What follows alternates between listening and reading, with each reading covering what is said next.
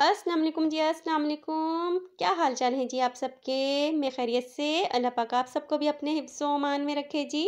आमीन। आज मैं लेकर हाजिर हूँ जी आप सबके लिए काबली चने और अंडों की रेसिपी।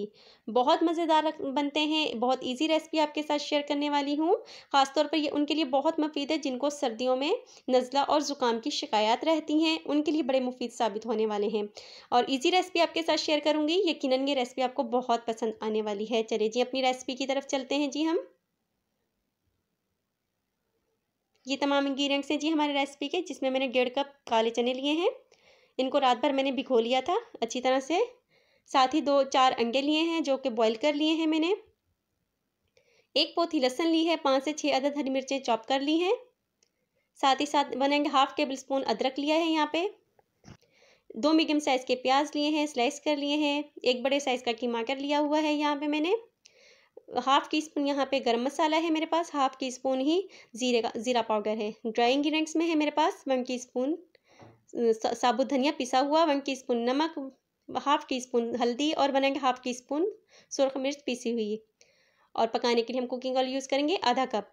चलें जी अपनी रेसिपी, स्टार्ट करते हैं। सबसे पहले मैं कुकर में शामिल कर लूँगी चने।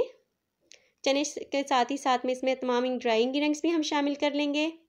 साथ अदरक, हरी मिर्चें और लहसुन और टमाटर और प्याज भी शामिल करें। तमाम चीज़ें इसमें मैं शामिल करने के बाद इसमें शामिल कर देंगे हम पानी। डेढ़ से दो गिलास। अगर आपके कुकर में जल्दी गल जाता है तो आप अपने कुकर के हिसाब से शामिल कीजिएगा पानी। और इसको तकरीबन हम, मैंने पंद्रह मिनट का प्रेशर लगाया था। देखिए जी, हमारा प्रेशर मुकम्मल हो चुका है। पंद्रह मिनट बाद मैंने ओपन किया है इसको। ये देखें जी, चने हमारे बिल्कुल गल चुके हैं, बिल्कुल सॉफ्ट हो चुके हैं। इस टाइम पर मैं इसका जो तमाम एक्स्ट्रा पानी है, वो अच्छी तरह से ड्राई कर लूँगी फुल आँच पर। पानी अच्छी तरह से ड्राई करने के बाद मैं इसमें शामिल कर दूँगी आधा कप कुकिंग ऑयल और तब तक चनों को भूनूँगी जब तक इनका सागे किनारों से घी नज़र आना शुरू हो जाए। इस तरह से भूनने से ये होगा कि इसमें जो हमने प्याज और टमाटर शामिल किए हैं, वो अच्छी तरह से मिक्स हो जाएँगे, गल जाएँगे मिक्स हो जाएँगे। अगर आपको मेरी वीडियोस अच्छी लग रही हैं तो प्लीज़ लाइक कीजिए, शेयर कीजिए और सब्सक्राइब कीजिए, ताकि मैं इस तरह की मज़ीद वीडियोस आपके लिए बनाती रहूँ। ये देखिए जी, सैगों से ऑयल नज़र आना शुरू हो गया। इस टाइम पर इसमें मैं डेढ़ कप पानी शामिल कर दूँगी। आपने जितनी ग्रेवी रखनी हो, आप उस हिसाब से शामिल कर लीजिएगा। तकरीबन पाँच से छः मिनट का मैं इसको दम लगा दूँगी, दम वाली आँच पर छोड़ दूँगी, ताकि ये अपना घी सेपरेट हो जाए इसका।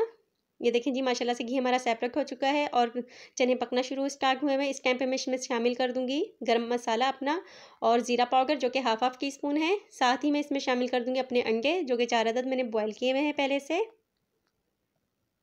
और साथ ही हम इसमें शामिल कर देंगे हरा धनिया और हरी मिर्चें। तकरीबन एक से दो मिनट का मज़ीद दम लगाऊँगी।